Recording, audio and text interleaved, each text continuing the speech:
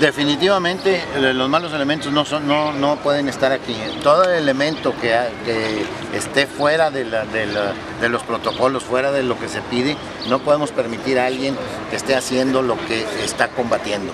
Entonces, eh, definitivamente eh, aplicaremos todo el rigor de la ley de acuerdo a la ley. No podemos decir, oye, eres culpable hasta que no se, eh, hasta que no se compruebe.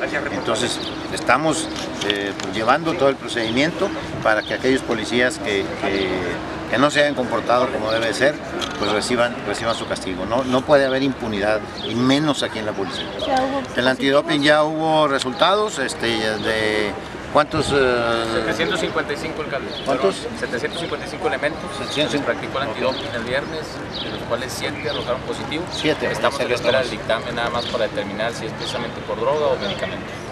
Entonces, pues básicamente eso es lo que vamos a determinar.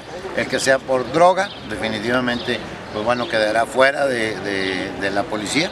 Y pues bueno, lo que tenemos que hacer es nada más echarlo para afuera, sino darle seguimiento. Porque si no, pues estarán cometiendo algunos otros delitos. Y yo aquí en este momento aprovecho eh, los medios de comunicación para decirles, señores, no se crean, o sea, no a todos los jóvenes, por favor, no tomen ninguna sustancia. Al final de cuentas van a quedar enganchados